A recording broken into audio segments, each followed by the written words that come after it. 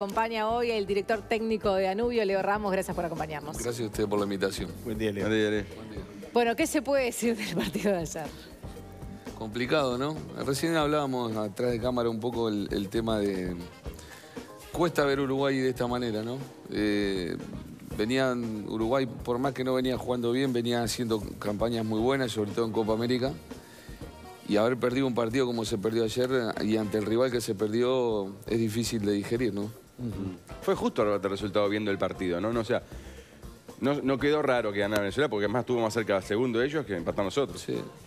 Sí, jugó mejor. Venezuela en, el- los 90 minutos jugó mejor, hace un, golazo porque eh, queda un poco manchado por la tajada de, de Muslera, que es muy buena, pero la genialidad de Guerra en el gol. Y después Uruguay como que va todo el partido a buscarlo, pero sin ningún tipo de idea, sin centro, sin jugadas eh, eh, armadas, sin nada. Y Venezuela que se cubrió bien atrás y después hasta tuvo posibilidad de hacer algún gol más. A los dos, porque ayer alguna gente en las redes responsabilizaba a Muslera por el gol por haber estado adelantado. No. ¿Les pareció o sacó un tiro imposible el tipo? Imposible. Esa solamente lo hacen los que están 100% concentrados, ¿no? Eh, Toda la jugada, ¿no? Porque se la lleva. No, no cualquiera hace una, una, jugada de esta, no Levanta cualquiera le pega de ahí, hay que saber pegarle también a, a la Para mí flor de atajada de Muslera en Es realidad. espectacular la tajada de Muslera. Y la otra no segunda, ataja porque le porque pega mal. Claro, porque Rondón le le pega mal. Si Sí, Rondón sí, le sí. pega bien, la Es taja. Una pregunta, los cambios. Eh, a ver, más allá de que Uruguay entró con cuatro cambios, algunos de ellos obligados, le voy a preguntar si le pareció bien la integración,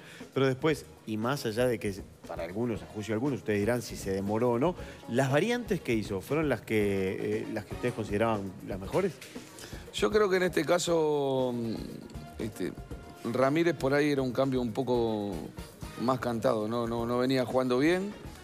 Eh, estábamos hablando un poco también eh, con Marcelo el, el hecho de mm, si vos tenés a Suárez ahí adentro del, del- del banco suplente, se supone que es porque está y después cuando salió a calentar, yo lo hubiese puesto, sinceramente, lo hubiese puesto. Más allá de que capaz que el resultado era el mismo, ¿no? Pero el hecho de tener un jugador de la categoría y de, Y con las ganas que tenía de entrar, del ¿no? Y nivel la de bronca. Suárez, hasta para el rival te, Ahora- te, te limita, ¿no? Sí, decían como que ahora en realidad no estaba habilitado, no podía jugar, lo que no tenía era la alta médica. No, no, habilitado estaba porque Estaba. estaba calentando y porque se cambió. Ayer se co- circuló ¿Y la versión de que no estaba el no partido estaba del pasado, partido. pero No, te muestra es- cuando estuvo es Messi en el partido pasado, Messi sí no estaba cambiado. Una hoja de la AUF no es oficial, o sea, no, no es el registro del torneo. Para el torneo, Suárez estaba habilitado, estaba cambiado, Ah, estaba con claro. chaleco reglamentario. Sino que todo. hace cambiado, vestido Para- con las No, de medias, las hecho no puede calaveras. salir a calentarse, no, Claro, no puede claro, ni siquiera exacto. salir a calentar. No lo permitirían. Es que eso es lo que nos pareció raro a todos. Cuando vemos que Suárez está haciendo calentamiento y está cambiando Intenso, de ritmo además, ¿no? afuera de la cancha. Algo no. Pero claro, para mí fue más él que dijo voy a calentar y capaz que pido para entrar y me ponen, como se ve en la imagen, que ahí la vemos, que él pide para entrar. Es increíble. La calentura que se agarra. Y aparte, Rebollo todavía que le hace Pero- con... Le pega, es Eso un caliente, caprichoso. Pero por eso Bueno, Suárez pero es esa es la que actitud. ¿no? Es que- eso es lo que tenés que sacar a la cancha. Esto cual. fue, fue Vos lo hubieras sacado. tercer cambio. Sí, yo lo hubiese puesto, seguro. Sí, claro. Después del tercer cambio, él se va a sentar y dice, "¿Pa- ¿para qué me hace calentar y no voy a entrar? Claro. Y ahí se La calienta. cara de Mario es una... Claro, pero aparte, que imagínate que, decirle, que hay te que venga. Suárez y te diga ahí, y, y vos le decís, no, no y, vas. y después del partido, además, te lo tenés que aguantar, Sí, ¿no? hay que decirle que no es.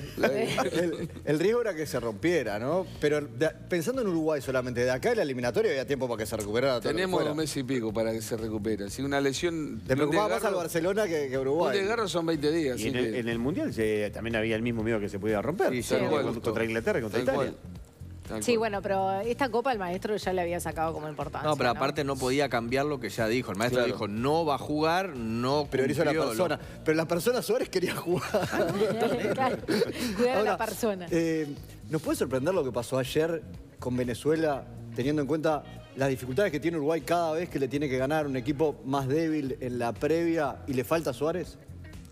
Eh, Uruguay tuvo una época en donde Suárez no jugó, una época bastante larga con la suspensión que tuvo y, y se la rebocó, jugó bastante bien. El tema Sí, es que... Sobre todo cuando podía hoy- defenderse y contragolpear. Claro, ¿no? hoy el- estamos hablando de que si, si tenía que jugar o no porque perdimos con Venezuela y porque quedamos fuera de la Copa América. Seguramente si se hubiese empatado, obviamente que las críticas hubiesen sido duras, pero este, la gente por ahí hasta estaría un poco más tranquila. Yo creo que también pasa por... Hoy uno piensa que jugar contra Venezuela, ese tipo de equipo, es fácil. Y hoy en el fútbol de hoy, aquí en América, no hay, no hay nada hay nada. fácil. Ni con Jamaica va a ser No, fácil. El no, lunes- no, Jamaica de hecho ayer jugó un partidazo con México. Sí, agarraron- el resultado fue, fue bastante mentiroso porque erró bastantes goles. Bien. Martínez fue el único que le pegó en la penca en esta mesa. Eh. Es anecdótico. eso. Es No, no, no, no es anecdótico, le pegaste. Pero no, se- pero yo estoy una- esperando que empiece la Copa América. Claro, fue una pelea con Tejera La por Copa eso. América va a empezar después de la Claro, serie. y para nosotros va a empezar. Le voy a pedir a mi 2019 amigo, Brasil. mi amigo Raúl Rolán Ortiz Ochoa que devuelva los viáticos. Está en Estados Unidos, no sé qué hacer. Digo, si no empezó la Copa Figueiredo América. también. Está Figueiredo. hablando del camarógrafo que está ¿Cuántos nuestro partidos compañero viste que de la está Copa allá. América? Que ¿Cuántos no vi? sean los de Uruguay. ¿Cuántos viste? No empezó todavía. Pará, pará, pará. Prácticamente todos los partidos. Los de Martín, Argentina, no de. Chile, lo de Haití. Haití, que Sí. haitiano a muerte. No viste ninguno, Martín. ¿Qué no Vas a ver cuando juegue Argentina, Brasil, Colombia. Para ayer ver que si Uruguay ganaba, Si Uruguay ganaba. Estaba tenía- para campeón. Sí, sí, porque después se le agregaba Suárez. Eh, por más que el equipo, yo vea un equipo ¿Jugando así? cansado. ¿Eh? ¿Jugando así? Sí, sí, jugando así con Suárez. Jugando así ha salido campeón y ha estado Sí. bien en la, en la eliminatoria. Lo que pasa no, es que lo, no- no es lo que uno le, le gustaría ver, ¿no? Pero bueno. Claro, pero el tema es que nosotros nunca vimos a otro Uruguay que no sea el de, el de meter, el de estar bien armadito, porque si me decís que en algún momento vimos a un Uruguay que juegue, que llegue por afuera, Ah. no lo vimos nunca, no lo vamos a ver. Pero no se puede agregar al libreto de cortar los circuitos del rival, estar bien parado, marcar, meter, estar enchufado, concentrado. Un poquito de libreto ofensivo, Leo. Ya. Yo siempre he sido bastante, bueno, Marcelo lo sabe, he sido bastante crítico con la manera en cómo, cómo juega Uruguay, ¿no? Sobre todo con los- la categoría de jugadores que tenemos, pero bueno, también hay que sacarse el sombrero con esta forma de jugar, Uruguay ha hecho muchísimo, Claro. ¿no? La, la idea es... Lo eh, tiene a Suárez también, ¿no? Sí, Y cuando no obviamente. está. Obviamente. Bueno, hablábamos también hace un tiempo, hace un rato, mm, un- yo al menos, y, y fue la misma, la misma manera que lo vio Marcelo, un equipo bastante cansado, ¿no? Teníamos, se notaba que Godín y, y, est- y Jiménez, Jiménez. no estaban bien. Sánchez también estaba Eh, Sánchez también se lo notaba cansado y eso vienen con un trajín bastante grande, Sí, ¿no? claro. Que de Bueno, hecho los está- equipos venezolanos, por ejemplo, no, no tienen el mismo ritmo que tienen Tantos los partidos Claro. en el año. Uno, de- viendo el partido también ayer, lo que pensábamos nosotros era decir, pa, ¿qué- es bravo sa- sacar a alguien a favor, ¿no? Uno, uno que diga jugó bien o hizo una buena Copa América. ¿Para ustedes se destaca alguien de los que jugaron de Uruguay como diciendo, hizo un buen certamen o más o menos digno? No, para mí ninguno. Fue parejo. Ninguno por- Muslera por- podría llegar a ser Sí, alguna por ahí para partido, destacar sí. a alguien. Godín. Sí, pero no el Godín que nos tienes acostumbrado. ¿Por qué? Porque por algo es un equipo. Se destacan más cuando sale Funciona bien, todo. porque por ahí eh, Godín ha sido figura en la eliminatoria, eh, ha tenido partidos muy buenos el Tata González. ¿Por qué? Porque el equipo funcionaba bien y ganaba. Ajá. Pero a mí me cuesta encontrar un, un jugador que se haya destacado de Uruguay. Es el primer gran fracaso de- en el ciclo de Tavares en todos estos años, quedar afuera de la Copa en los primeros dos partidos sin ni siquiera llegar con chance al tercero en un grupo como el que tenía Uruguay. Yo además. creo porque nos tenía mal acostumbrados. Ajá. O sea, Uruguay ha venido clasificando y, y saliendo hasta campeón de la Copa América. No jugando bien. Y yo creo que esto fue un golpe muy duro para todos, ¿no? Sí, aunque en realidad eso desde antes de Tavares, ¿no? Porque salvo la del 97, en la del 99 llegamos a la final, en la del 95 habíamos sido campeones, en la del 2001 llegamos Pero a la esta final. no es tampoco Copa América. Nosotros no la contamos como América, esta es Copa Centenario. Ah, si la gana Argentina no llega a la 15. No interesa, ¿no? ¿No? Esta es una copa que se Acá, en esta, inventó. mesa- esta es una linda discusión, porque acá en esta mesa muchos hablan, vamos por la 16, Sí. y en la Copa Confederaciones no va a jugar el sudamericano que pueda salir campeón de esta Copa, va a Chile, aviso. Ahora empezamos con el discurso de que no No, cuenta. no, no, no. Esto No, fue un torneo de verano. vos sabés cómo de verano. Si hay alguien que no tiene discurso con esta selección, digo, por favor. No, ya sé, pero digo, Pero en, digo, en acá general. vos decías, vamos por la 16, ahora resulta que no. No, yo no decía vamos por la 16, yo decía vamos por la 16 y la gana Uruguay. Si la gana Argentina no cuenta. Bueno, eh, vamos por la 16, José O sea, desde hoy no cuenta. Desde hoy no cuenta, Desde hoy ya no cuenta. Bueno, pero formalmente sí cuenta.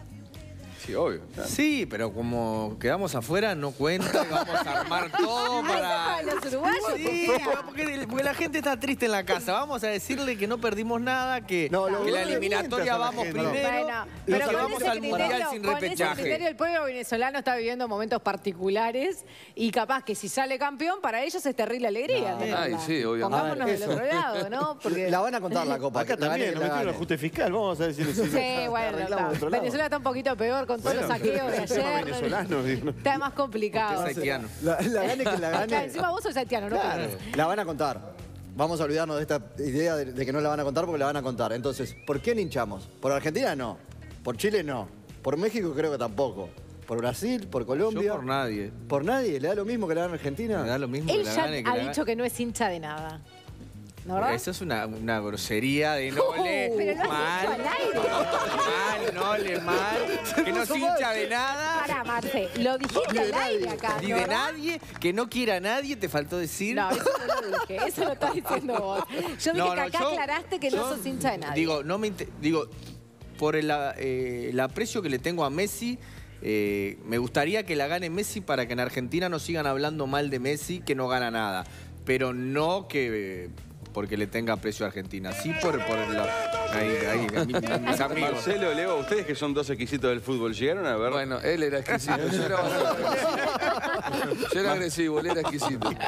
¿Llegaron a ver la enfermedad que hizo Maradona en el- este evento que se encontró Sí. con Pelé? Pero antes de ver lo de Pelé, el micrófono abierto que fue de replay, no sé si alguno no vio, porque circuló mucho por Marcelo WhatsApp. no lo vio. No, no lo vi. No lo vio. es Te morís. Maradona, miren lo que dice, alfombra.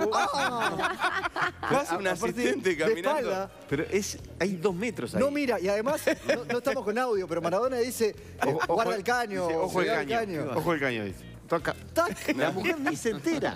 Ya había metido uno parecido en Dubái en un aeropuerto hace unos años. Es Maradona. impresionante, ¿no? Es impresionante. Esto, esto es lindo que del es una de las organizadoras, La ¿no? renguera que tiene. Ah, ¿Cómo está, Ah, sí. Si Tejera te tiraba uno de estos, Leo. No. él, él sa- él sabía lo que podía hacer y lo que no. Marcelo, no te veo con la pelota tirando estos caños en los corredores. No, ¿eh? no, los corredores. Vas con la pelotita en la mano. No, y aparte, viste que tiene una, una visión Maradona. Maradona tiene una categoría. Tiene que bajar. Ojos poco. en la nuca tiene. Sí. Sí. Bien, Marce, ¿nos vemos la próxima? Nos vemos la próxima. Bueno, a. Marcelo, anda a descansar, Marcelo. Gracias, Nole. Leo, muchas gracias por acompañarnos Gracias a hoy. ustedes. Gracias, Leo. Gracias, Marcelo. Y cerramos el capítulo deportivo Nole con lo que como recién decíamos en la casi